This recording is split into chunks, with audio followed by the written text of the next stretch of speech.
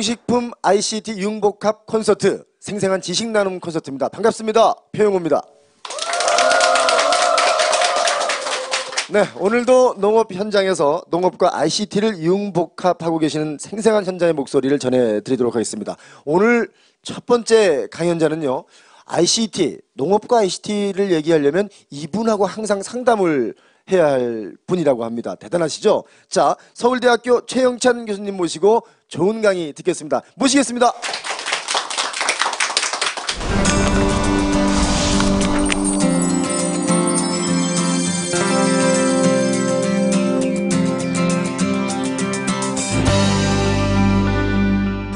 아, 제가 오늘 강의할 내용은 왜 우리가 ICT를 하고 있고 농업에서 또 그것이 앞으로 어떻게 발전할 것인가 하는 부분을 좀 말씀드리려고 합니다. 어, 먼저 우리가 봐야 될 것이 우리 농업 식품 산업이 굉장히 지금 현재 우리가 외국에 비해서는 많이 그동안 발전했지만은 어, 기술 수준이 아직까지는 선진국에 비해서 좀 열악합니다. 또 생산성도 그래서 우리가 조금 떨어지는 면입니다. 품목에 따라서는 상당히 떨어지는 부분도 있습니다. 그리고 또 하나는 뭐냐면 저희가 예전에는 농산물을 생산하면은 소비자에 설 때까지 굉장히 단계가 짧았는데 지금은 굉장히 많은 과정을 거칩니다. 예전에 여러분들이 김치를 어, 사서 드신다 그러면은 어, 집에서 배추를 사서 담았습니다. 예, 요즘은 그런 분들이 없으시죠? 예. 이제 김치 공장에서 만들고 또 그것을 여러분들이 마트에 가서 삽니다. 어, 그렇기 때문에 이런 굉장히 복잡한 긴 과정을 거치게 되어 있고 그러다 보니까 이제 어, 말씀드린 대로 우리가 아직까지 열악한 농업 환경 그러면서도 산업은 점점 복잡해져 가고 있고 이러한 부분 때문에 농업인들에게 ICT를 통해서 도움을 주는 이런 일을 할 수밖에 없습니다. 그런 과정이 저희들이 지난 한 3, 40년 지내온 그런 과정인데요. 잠깐만 우리가 농식품 소비 구조를 보면은 금방 말씀드린 대로 여러분들이 밖에서 먹는 게 한 절반 됩니다. 외식 비중이 50% 가까이 육박하죠. 그리고 가공식품으로 먹는 것이 4분의 1 정도 됩니다. 그 중에서. 어, 소매 유통, 특히 대형마트, 여기서 사는 비중이 60% 가까이 가고 있습니다. 그래서 그러다 보니까 농업인들이 직접 어, 대형마트나 혹은 가공을 하거나 외식업을 하기는 어렵고 여기랑 연계할 수밖에 없는데 그러다 보니까 상당히 많이 저희가 ICT를 활용할 수밖에 없습니다. 여기 우리나라 농업 생산에서 보시는 것처럼 쌀처럼 그냥 사다가 먹는 부분, 식량 작물들은 우리나라 농업이 차치하는 비중이 점점 줄어들었습니다. 그러나 이렇게 가공이나 또 외식에 많이 팔리는 이런 부분들, 저 우리 고기 축산이죠. 이런 부분은 지금 현재 우리나라 농업의 3분의 1이 넘었습니다. 그리고 채소나 가수농업은 3분의 1에 육박하고 있어서 이 두 부분을 차치하게 되면 약 한 3분의 2 정도 차지하고 있습니다. 이런 산업들이 점점 발전하고 소득을 내고 있습니다. 특히 이런 산업들에는 ICT의 결합이 굉장히 빠르게 진행되고 있고 또 많이 필요합니다. 그동안 어떻게 ICT가 융국, 융국하여서 농업부문에 진행, 진행되어 왔는가를 말씀드리면은 저희가 지난 한, 어, 1980년부터 시작해가지고 한 25년 정도를 저희가 이런 일을 해왔습니다. 하나는 이제 농업인들이 농가에서 생산을 좀 잘할 수 있고 그 다음에 생산성을 올릴 수 있게 기술을 접목하는 농가를 위한 관리 프로그램들 그리고 조금 전에 말씀드린 대로 우리가 소비자들한테 가기까지 과정이 이제 복잡하죠.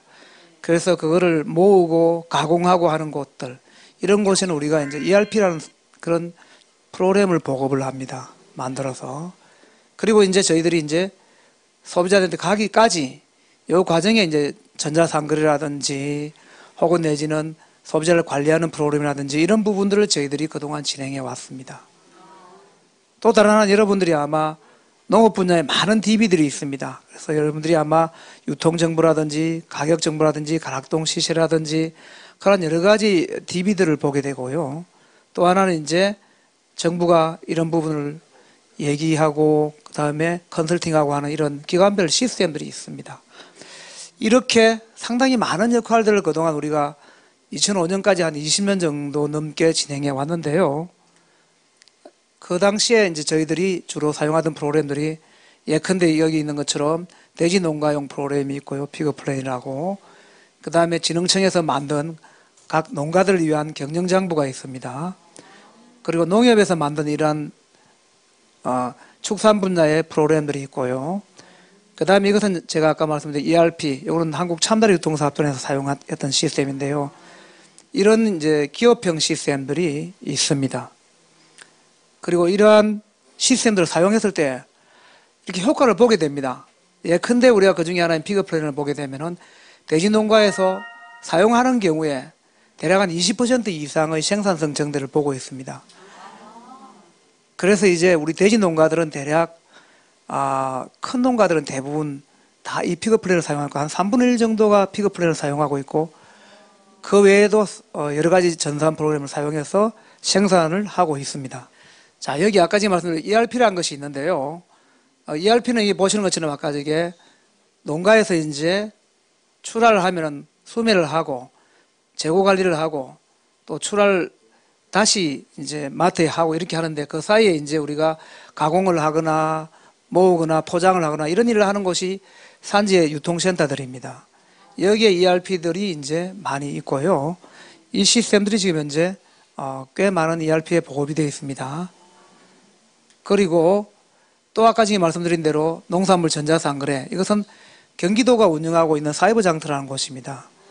우리나라에서 거의 초기에 만들어진 2000년에 만들어졌고 어, 굉장히 많은 경기도 지역 농산물들을 직접 거래하고 있습니다. 그래서 많은 농가들이 이걸 통해 가지고 자기 농가를 알리고 또 자기 브랜드를 알리는 이런 일을 하고 있습니다. 그래서 저희들이 목표는 창조적으로 ICT를 결합해서 농식품 산업을 미래 성장 산업으로 만들어 보자. 이것이 저희들의 목표입니다. 그래서 저희들이 이제 좀 더 한 단계 높여서 이 아까 지금 말씀드린 대로 특히 원예 분야 한 3분의 1 정도 우리나라 농업을 차지한다 그랬죠. 여기는 이제 시설 농업이 많이 많이 들어서서요. 온실들이 많습니다. 물론 비닐 온실이 많고 유리 온실도 있지만요. 그래서 여기 보시는 것처럼 온실 안에 굉장히 많은 센서라든지 개척기라든지 이런 장비를 설치하고 농업을 정밀하게 지금 생산에 어, 정밀성을 기할 수 있도록 이렇게 운영을 하고 있습니다. 그래서 우리가 파프리카 같은 경우 가장 먼저 도입한 그런 산업 중에 하나인데요. 도입하기 전에 비해서 굉장히 생산성이 정대하고요. 그 다음에 관리나 노동에 들어가는 비용을 줄여줍니다. 이것이. 그래서 농업의 경쟁력을 제고하고 있는데요. 어, 이러한 일들이 저희들이 진행하고 있습니다. 보시는 것처럼 이 온실 안에는 센싱하는 여러 가지 CO2라든지 온습도라든지 광도 이런 센서들이 있고 이걸 제어하는 환경 제어가 있고요. 그 다음에 생육하고 연결시켜서 적절한 생육이 되고 있는지 안 되는지를 제어하는 부분들 전체적으로 경영의 효율성을 보는 이런 부분들이 있습니다. 그리고 또 노지 같은 경우에도 우리가 뭐 과수원이라든지 고추 농사라든지 오이 농사 같은 데서 보면은 온실과 유사하게 관수를 설치하고 센서를 달아서 꼭 필요할 때 우리가 비료를 주고 또 병해충을 관리하고 이런 일을 하게 함으로 인해 가지고 생산성을 증대시키고 비용을 줄입니다. 그래서 사과 농사 같은 경우에 이걸 통해서 품질 향상, 수량 정대, 농약 방지를 하고 있습니다. 또 하나는 제가 아까 말씀드린 대로 축산부분 우리나라 농업의 3분의 1이 넘는다고 그랬는데요. 여기도 지금 현재 축사 안에 각종의 이제 센서와 제어기들이 들어가서 항상 농가들이 멀리 나가 있어도 환경을 제어하고 또 적당한 세, 어, 생육 조건을 만들어주는 이런 일들을 하고 있습니다. 그래서 양돈에서도 보시는 것처럼 여기에 품질이 증가하고 그리고 사료비를 줄이고 그리고 생산성을 늘리고 있습니다. 어, 그래서 이러한 기술들이 대부분 보면 지금까지 말씀드린 건 센싱 모니터링 기술, 사양 관리 기술, 그 다음에 이걸 모아서 관리해주는 소프트웨어를 가지고 있는 클라우딩 기술, 이렇게 구성되어 있고 지금 말씀드린 이런 기술들이 농가가 현장에 없다 하더라도 원격으로 제어가 가능하게 되어 있습니다. 그리고 식품 산업 저희가 아까 말씀드린 대로 마지막에 농 소비자들을 만나는 것이 식품 공, 공장이겠죠. 또 그래서 식품의 가공 처리에서도 우리가 도축장이라든지 전처리하는 곳이라든지 이런 곳에도 어, 기술들을 적용해서 우리가 점차 농산물에서 우리가 식품 산업으로 발전해 나가는 이런 일들을 하고 있습니다. 식품 산업 같은 경우에도 전체적인 상품의 공정, 포장이라든지 소포장이라든지 자동화 여러 부분에서 저희들이 이렇게 어, 자동화를 해 나가고 있는 그런 상태에 있습니다. 궁극적인 목적은 식자재에 대해서 신선도를 유지하고 품질을 향상하고 또 비용을 줄이기 위한 그런 면이 있습니다. 이상과 같은 이러한 시스템들을 저희들이 보급을 해서 그동안 많이 활용해 오고 있는데요. 향후 이런 시스템들이 줄 수 있는 것이 데이터이고요. 그런 데이터나 정보들을 모아가지고 저희들이 할 수 있는 일들을 빅데이터라는 그러한 새로운 기술을 통해 가지고 해 나가고 있습니다. 그 빅데이터들은 예컨대 여기 나온 정보들을 가지면 온실이나 축사에서 나오는 걸 보면은 우리가 농산물이 그동안 보면은 가격이 굉장히 뛰었다 떨어졌다 하지요. 이것은 이제 우리가 생산량을 예측하고 수급을 조절하지 못해서 그랬거든요. 근데 이제 생산 현장에서 이런 시스템이 있으면은 이걸 저희들이 보면서 이제 아 앞으로 수급이 어떻게 되겠다, 모자라겠다, 남겠다. 그럼 미리 우리가 사서 재고를 관리를 한다든지, 혹은 모자라면 우리가 또 다른 나라 수입을 해오든지 이렇게 우리가 어, 관리를 해야 되겠죠. 이러한 수급에도 쓰이기도 하고, 그 다음에 저희가 가축 질병에 대해서도 우리가 관리를 할 수 있습니다. 이렇게 이제 어느 농장에서 질병이 발생하게 되면은 센서와 모니터링을 통해 가지고 어느 돼지가 오늘 밥을 안 먹었다, 즉 살을 안 먹었다, 어느 돼지가 오늘 물을 안 먹었다, 또 이 돼지가 아, 갑자기 움직임이 없어졌다. 이런 걸 통해 가지고 우리가 일찍 조기 진단을 합니다. 그래서 이런 걸 통해서 우리가 이게 어떤 질병이다. 또 그 질병이 되면은 각 농장의 시스템들이 있기 때문에 이걸 통해서 다른 농장에 전이되는 것을 차단할 수 있는 이런 시스템이 되겠습니다. 또 이런 부분이 있고요. 여기 이제 제가 오늘 어, 사례를 이제 짧은 시간에서 많이 들진 않았지만은 앞으로 저희들이 이제 여러분들이 아마 대부분 카톡 하시죠? 네. 예, 그래서 소셜 어, 데이터들을 활용합니다. 그래서 작년에 저희가 남양유업 사태라든지 혹은 내지는 우리가 아, 후쿠시마 원전 사태가 있었을 때 사람들이 생선을 안 먹고 또 사람들이 우유를 남양 우유를 잘 안 먹고 이런 일들이 있습니다. 그러면 사람들이 이제 어, 카톡이라든지 혹은 블로그라든지 트위터를 통해 가지고 굉장히 많은 자기들이 어, 오피니언을 내고 있습니다. 이걸 다 이제 저희들이 이제 어, 분석해서 아 이게 얼마나 가겠다. 그리고 이거는 어떻게 해가지고 문제를 풀어야 되겠다. 이런 일들을 할 수가 있습니다.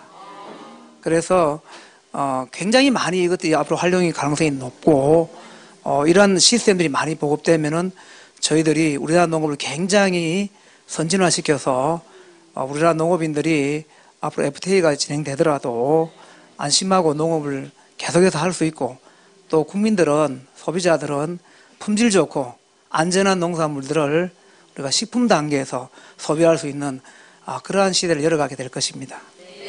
네.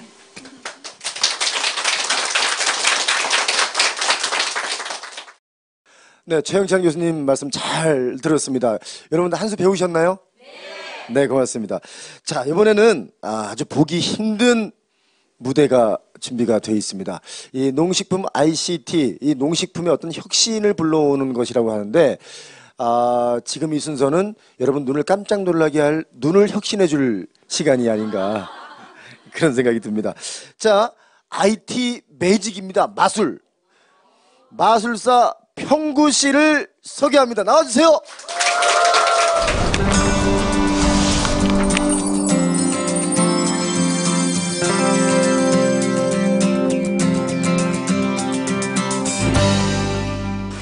요즘 IT, IT 이야기를 많이 들으셨죠? 네, 마술에도 IT가 도입이 됐습니다. 어, 기존에 마술의 모자가 했던 역할을 이제 바로 제 손에 있는 태블릿 PC가 하는 겁니다. 바로 그 IT 매직을 지금부터 여러분들한테 보여드리도록 하겠습니다. 박수와 함께 시작해 보도록 하겠습니다.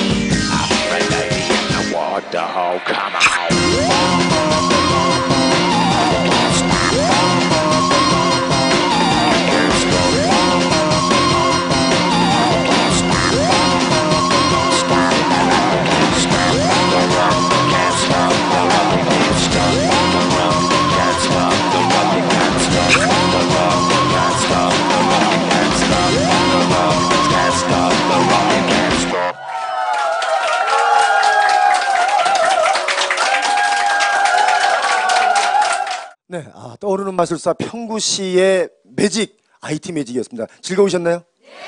네. 자, 이번엔 더 즐거운 일이 또 있습니다. 깜짝 놀랄 만한 분을 모시도록 하겠습니다. 어, 여러분 버섯 좋아하세요, 버섯? 버섯이 뭐뭐 있죠? 느타리 버섯, 표고 버섯, 송이 버섯, 에, 또, 에? 노루궁뎅이 버섯? 어, 그런 버섯도 있었어요? 어, 여러 가지 버섯이 있는데 이 버섯을 ICT 방식으로 재배를 해서 미국으로 수출까지 하는. 대단하죠, 그죠? 뭐 자동차나 휴대폰만 수출하는 게 아니고 세상에 우리 농산물을 해외로 미국으로 수출까지 하는. 그래서 자그마치 연 매출이 60억! 60억 의 매출을 올리는 영농조합이 있습니다. 네. 청아랑 영농조합의 김의식 상무님을 모시고 노하우를 듣도록 하겠습니다. 박수로 청해 듣겠습니다.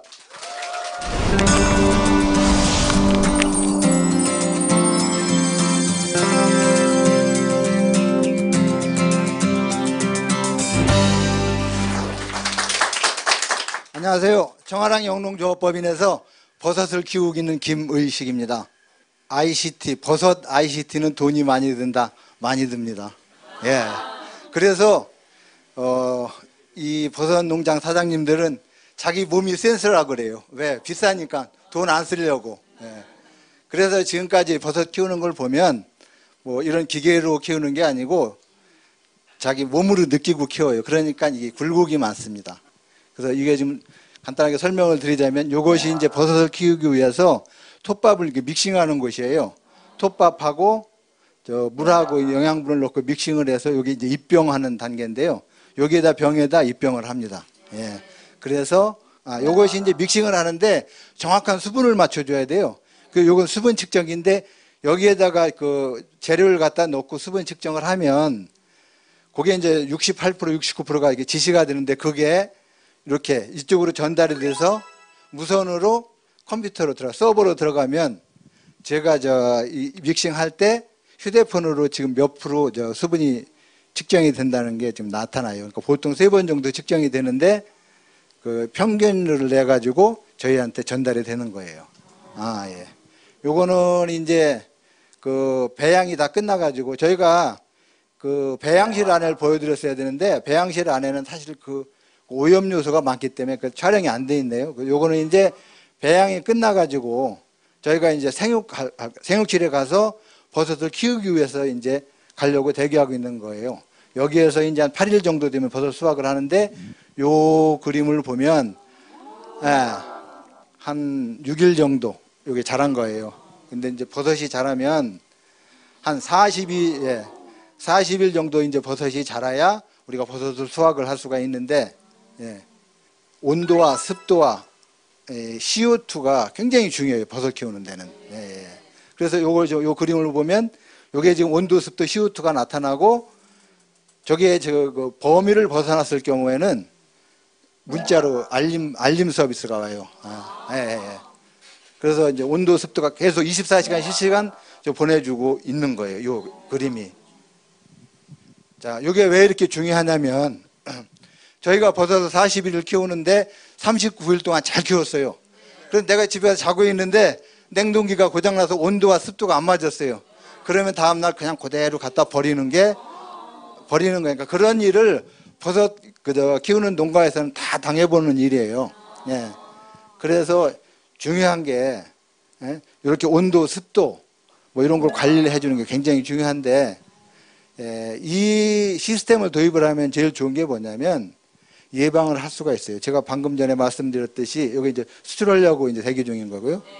음, 방금 전에 말씀드렸듯이 그 온도라든가 습도라든가 그 탄산가스 농도가 범위를 벗어났을 때는 나한테 문자로 알림 서비스가 오기 때문에 그 알림 서비스를 받고서는 얼른 조치를 하면 아무 문제가 없어요. 근데 이걸 모르고 자면 다음날 그냥 버리는 거예요. 예.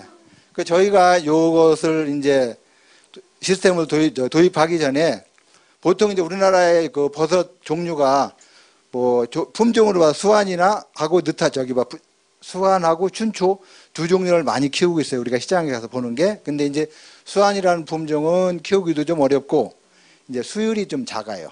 이제 춘추라는 품종은 수율은 좋은데 이거는 너무 오래 키웠나 봐. 버섯 품질이 안 좋아요. 그 저희가 3년 전부터 공을 들여가지고 미국에 수출을 하는데 크레임을 먹었어요. 올 초에. 그래가지고 이 공든탑이 다 무너지게 생겨서 수출을 중단을 했어요. 그래서 고심한 끝에 이 시스템을 이용을 해서 버섯을 키운 거예요. 그 지금 여기 그림에는 안 보였지만 배양실에서 그 각 이 아까 그 병에 보셨는데 병에다 센서를 다 꼽아서 센서 관리를 저 온도 관리, 습도 관리 뭐 이런 관리를 해는 거예요. 그러면 우리가 봐요 그거를 계속 지금 배양실에 배양돼 35일째 배양되는 배지의 온도가 몇 도인지 탄산가스 농도가 몇 프로인지 그걸 계속 보면서 가는 거예요. 아, 그러니까 우리가 이 몸으로 몸이 센서라고 키우는 분은 내가 가서 얼굴을 들이밀었을 때만 내 몸이 센서인 거지. 내가 거기서 이미 나오면 그땐 내 몸이 센서가 안 되는 거예요. 그래서 망가지는 경우가 많은데 아, 그거를 이제 저 해결을 한 거죠. ICT 버섯 ICT가 그것을 해결을 해서 버섯을 키웠는데 성공을 했어요. 이게 저 수율이라면 버섯이 병당 나올 수 있는 무게를 우리가 수율이라 그러는데 수율이 한 20% 정도가 높아졌어요. 그리고 버섯이 일정하게 자라고 버섯이 하얗고 싱싱한 거예요. 그래서 이것을 포장을 해서 수출을 했더니 아 물건이 좋다가 대박이 난 거예요. 예. 그래서 제가 사실은 저 어저께 미국에 갔다 들어왔어요. 그 미국에 이제 마트에 가서 담당자를 만났더니 버섯이 작년보다 좋아졌다고 아주 칭찬을 무지하게 듣고 버섯을 매주 한 컨테이너씩을 좀 보내라. 예. 지금은 뭐 이- 그러니까 저희 동부의 한 컨테이너, 서부의 한 컨테이너에서 매주 나갔는데 지금은 이제 매주 동부의 한 컨테이너, 서부의 한 컨테이너 이렇게 지금 나가게 제가 오더를 받고 어제 왔습니다. 예. 예. 그래서 제가 이 사실 저 강의하는 사람이 아니잖아요. 농사를 짓는 사람인데 아무 준비를 못했어요. 그래서 어제 이 준비 좀 해보려고 했더니 졸려서 준비가 안 되는 거야. 예. 그래서 그냥 이렇게 와가지고 그냥 제가 하는 대로 예, 키운 대로 말씀을 드렸습니다. 앞으로 시장에 가서 버섯 많이 드십시오. 예, 고맙습니다. 예. 네. 아, 우리의 농산물이 이제 선진화 됐다는 걸 입증했죠. 네, 이제 그냥 농사를 짓거나 그냥 이렇게 농업에 종사하는 것이 아니라 ICT와 융합을 하면 훨씬 경제적이고 훨씬 능률적이고 훨씬 좀 편리한 아, 그런 농업의 성장이 오지 않을까. 여러분 한번 시도해 보시기 바랍니다. 자, 지식 나눔 콘서트, 어, 야, 이 정말 해가 갈수록 좋은 분들의 얘기를 듣고 동기부여가 돼서 나도 귀농을 할까. 그런 생각이 막 듭니다. 어, 우리가 예전에 그런 말들이 있습니다. 뭘 하다가 안 되면, 에이, 장사나 하자. 절대 장사나 하는 게 아니고 장사 꽤나 시기나 한데요. 또 옛날에 그런 거 있어요. 아니 뭐 안 되면 농사 짓지 뭐. 농사 그냥 되는 게 아닙니다. 세상에 가장 어려운 일이 농사입니다. 네. 우리 대한민국의 농업 활동에 종사하시는 많은 분들에게 박수 한번 주세요.